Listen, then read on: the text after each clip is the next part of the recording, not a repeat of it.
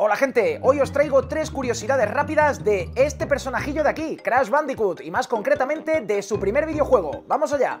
Originalmente nuestro peludo amigo no se iba a llamar Crash Bandicoot, sino Willy the Wombat. Al menos esa era la idea que Naughty Dog tenía en su cabeza antes de que en las oficinas decidieran cambiarlo por lo estúpido que sonaba. Así, Willy pasó a llamarse Crash y pasó de ser un Wombat a un Bandicoot. Todos recordaréis las cajas de la saga, ¿verdad? Su diseño es una leyenda. Pues bueno, fueron añadidas al final del desarrollo. En Naughty Dog creían que el juego les había quedado muy bonito, pero vacío. ¿Qué se podía hacer con la poca memoria que quedaba? Pues añadir estas pequeñas cajitas por todo lados para darle más personalidad al juego. Así nacieron cajas como las de Fruta Bumpa, la TNT o la Nitro. Y para terminar, esos niveles en los que Crash corre hacia la pantalla huyendo de una roca se crearon con la idea de que el jugador viera, al menos durante poco tiempo, la cara de Crash Bandicoot y las expresiones faciales.